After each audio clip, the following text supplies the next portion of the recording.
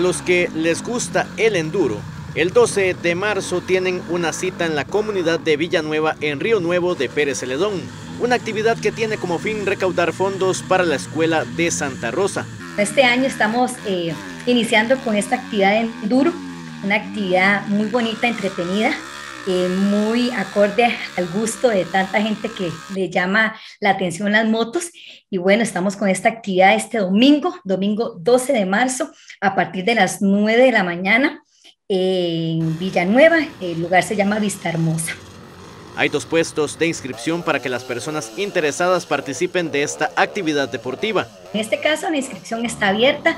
Tenemos eh, acá eh, un lugar para inscribir que es la Escuela de Santa Rosa y también en este caso eh, Vista Hermosa, que es el lugar donde va a ser el, lugar donde vamos a contar en el evento, que es eh, un centro recreativo que hay en Vista Hermosa, en Villanueva.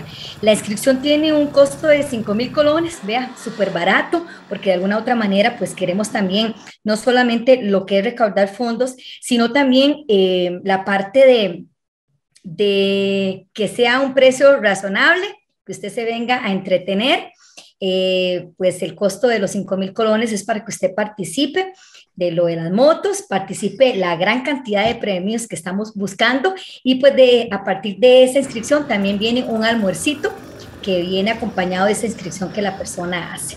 Participar en este enduro también será de gran ayuda para el Centro Educativo de Santa Rosa. La Escuela de Santa Rosa siempre muy activa, necesita recordar fondos para darle el mantenimiento de la institución y pues bueno, para todas las actividades que eh, tenemos en este caso, eh, según el calendario 2020 del Ministerio de Educación.